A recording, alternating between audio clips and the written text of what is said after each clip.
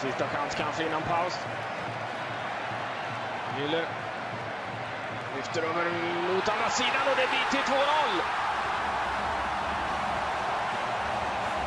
Özil, Müller, Götze.